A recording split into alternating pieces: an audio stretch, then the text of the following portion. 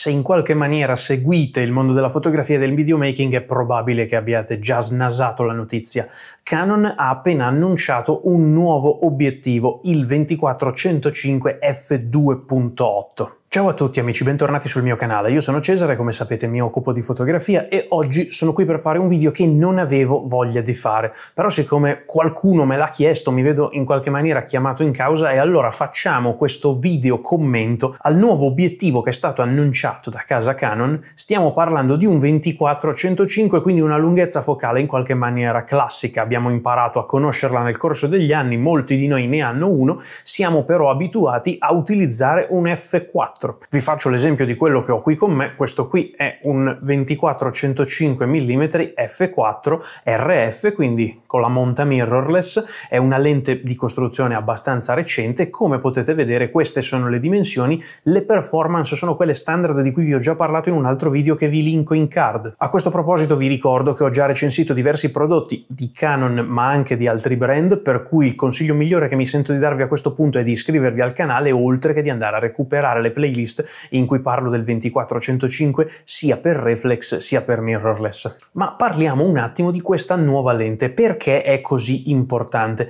Beh, perché è un'innovazione totale, assoluta. Infatti negli ultimi, non so quando è uscito il primo 2405, ma credo negli ultimi 20 anni o giù di lì, siamo stati abituati a ragionare sul 2470 f2.8, quindi uno zoom standard per full frame con un bellissimo range e con una bellissima apertura che però si fermava a 70 mm e come contraltare siamo stati abituati a lavorare con un 24-105 che però aveva un diaframma costante di F4 come diaframma massimo, quindi siamo stati abituati a scegliere uno di questi due tavoli da gioco. Ebbene, dopo tutti questi anni che poi i brand si sono un po' uniformati perché tutti quanti i brand hanno fatto il 24-72-8 e la maggior parte dei brand ha fatto il 24-105 F4, si sono in qualche maniera venuti incontro, hanno detto se è stato possibile fare questa cosa la facciamo anche noi nello stesso modo. Ora Canon ha fatto qualcosa di un pochettino diverso, ha osato rompere questa tradizione e andare a mettere insieme un obiettivo con delle caratteristiche nuove, ovvero un obiettivo che continua a restituirci la lunghezza focale di questo e della serie EF se è per quello, esattamente identica, però avremo un diaframma costante di f2.8, quindi che cosa ci stiamo guadagnando? Ci stiamo guadagnando più del doppio della luce perché sarà un'ottica molto luminosa con cui potremo fare cose che insomma con questo ci verrebbe un po' difficile fare, avremo uno sfocato molto più pronunciato. La caratteristica rivoluzionaria è proprio nella costruzione, quindi perché abbiamo a che fare con un'ottica molto più grande, molto più pesante, molto più ingombrante, che però ci dà il meglio dei due mondi, quindi la lunghezza focale di quest'ottica con il diaframma della sorellina 2470. È un passo secondo me importante perché si discosta da quanto fatto finora e ci fa intravedere un pochino quali sono le intenzioni della casa. Alcune caratteristiche di quest'ottica mi fanno pensare che sia stata pensata soprattutto per video più che per fotografia. Ve ne nomino qualcuna, innanzitutto le dimensioni.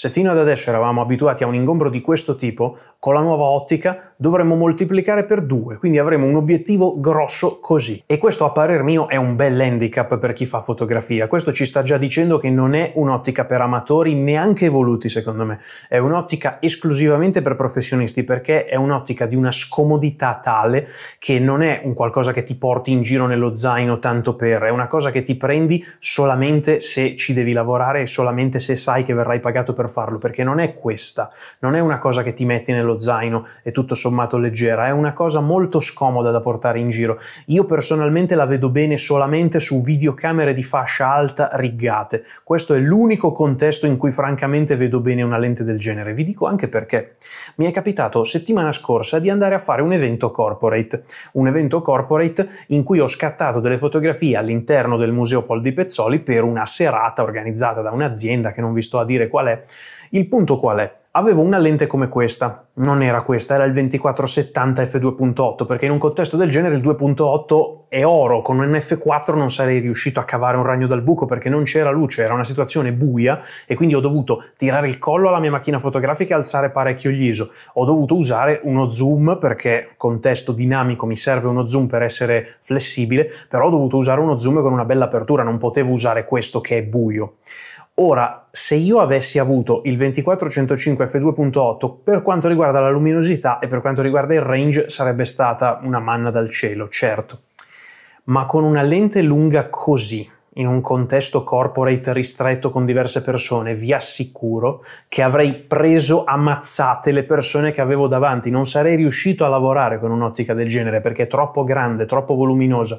Quindi in mezzo alla gente, scattare in mezzo alla gente, alla gente che chiacchiera, che prende il drink, non sarei riuscito a lavorare con una lente del genere. Quindi secondo me non è assolutamente indicata per matrimoni, nonostante venga indicata come adatta perché le caratteristiche vanno bene, però secondo me non è assolutamente adatta. Dunque, per chi è pensata un'ottica del genere? Una stabilizzazione molto potente che combinata con quella sul corpo macchina può arrivare a 8 stop, il controllo creativo sulla profondità di campo, l'eliminazione del focus break breathing e la ghiera dell'iride mi sembrano tutte caratteristiche che la rendono una lente perfetta per fare video, video di fascia alta, cinema magari volendo. Secondo me quest'ottica è pensata per questo, è pensata per il mercato alto di chi vuole fare video pur non entrando nel cinema perché lì si prendono le ottiche cine. È un'ottica che viene battuta a un prezzo molto importante perché stiamo parlando praticamente di 4.000 euro, un 3.700 qualcosa, per cui sono praticamente 4.000 euro. È una lente che nessun amatore, a meno che non sia ricco sfondato, si potrà mai permettere.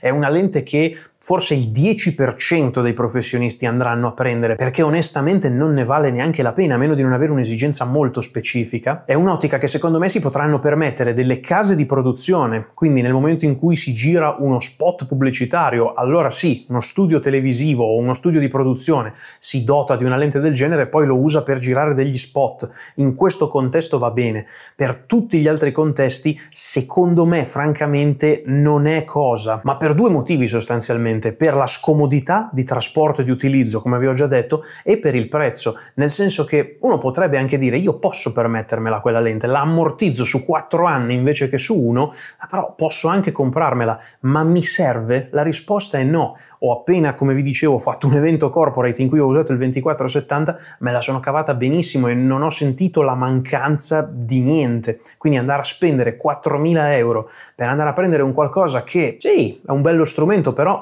mi fa lavorare con degli ingombri maggiori e non mi dà chissà cosa in più, preferisco tenermeli quei soldi a questo punto. Quindi deduco da questo che il target non sono io. Il target potrebbero magari essere i fotografi matrimonialisti, soprattutto in certe zone del mondo dove si riesce ancora a farsi pagare tanto per fare dei matrimoni. Per quel contesto sarebbe molto buona un'ottica del genere, non fosse appunto per gli ingombri, perché nel momento in cui si scatta in mezzo alla gente avere un cannone del genere e attenzione, un conto è avere un teleobiettivo, si scatta da lontano, ma quello è anche un grandangolo. Andare con un grandangolo lungo così in mezzo alla gente, io la vedo molto problematica come cosa. Per il resto bisogna anche dire che sono assolutamente sicuro delle caratteristiche ottiche di costruzione di questo nuovo obiettivo, nel senso che sarà fantastico, sarà assolutamente bellissimo. Avremo uno sfocato come raramente abbiamo visto altre volte perché stiamo parlando di un'ottica con 11 lamelle, quindi sfocato e bokeh pazzesco. Per quanto riguarda la messa a fuoco, se ho capito bene, abbiamo due motori di messa a fuoco che lavorano in sincrono, quindi la messa a fuoco più fantastica che possiamo desiderare, compatibilità pressoché totale su tutti i sistemi mirrorless, ovviamente sulla reflex no, ma su tutte le mirrorless Canon che abbiamo a disposizione, questa lente abbiamo la piena compatibilità, quindi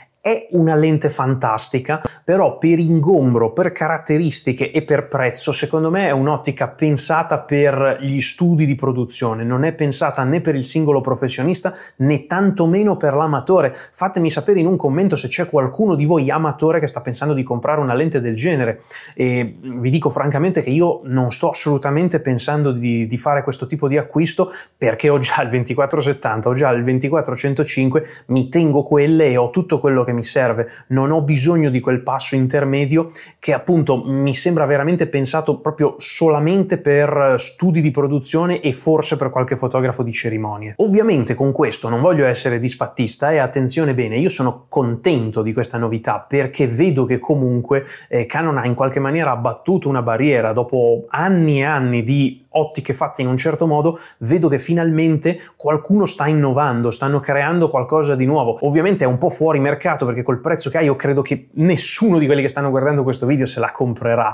quindi la reputo assolutamente fuori mercato. È per una nicchia ben delimitata e io non so neanche con quanti pezzi pensano di andare in produzione perché non so quanti credono che ne venderanno, ma secondo me ne venderanno ben pochi. Però ciò non di meno sono contento di vedere che qualcosa si muove, che c'è dell'innovazione, che c'è ancora del pensiero, che qualcuno cerca ancora di fare qualcosa di nuovo. Questo è assolutamente encomiabile e sarei curioso di provarla quest'ottica perché sono sicuro che è bellissima. Diciamo che in questo momento e anche nel futuro, nei prossimi anni, non ce la vedo proprio un'ottica del genere eh, nel mio equipaggiamento, anche perché voi dovete considerare che io ho lo zaino organizzato in un certo modo e se dovesse entrare una nuova ottica nel mio zaino di queste dimensioni o di queste dimensioni, non mi scandalizzerei più di tanto perché ci stanno, il mio zaino è pensato per contenere ottiche di queste dimensioni ma non un'ottica sola di queste dimensioni, perché di questo stiamo parlando, stiamo parlando di un bestione grosso così. Io al momento con tutta la roba che mi porto dietro non ho lo spazio per portarmi dietro una cosa grossa così e questo rende un'ottica del genere abbastanza inavvicinabile per me perché non posso caricarmi di un peso come questo in più a tutto quello che già abitualmente mi porto in giro per avere in cambio qualcosa che in fin dei conti non mi serve perché ne ho sempre fatto a meno. È questo che mi fa venire da pensare un'ottica come questa questa o studi di produzione o fotografo matrimonialista che a quel punto usa solo questa, ma veramente solo questa, non si porta più nient'altro. A questo punto però vi lascio spazio nei commenti, fatemi sapere voi cosa ne pensate, sono curioso di sapere se qualcuno ha in mente di comprarsela, amatori e eventualmente eh, fotografi di cerimonie, fatemi sapere, siete interessati a una lente del genere, non vi spaventa il prezzo, non vi spaventa l'ingombro? Parliamone nei commenti, fatemi sapere voi che cosa ne pensate, sono curioso di vedere opinioni diverse dalla mia, perché io ho la mia idea, il mio flusso di lavoro, ma se qualcuno qualcuno di voi invece vuole un'ottica del genere, la stava aspettando con trepidazione, la vuole comprare appena esce, fatemelo sapere perché sono curioso di sapere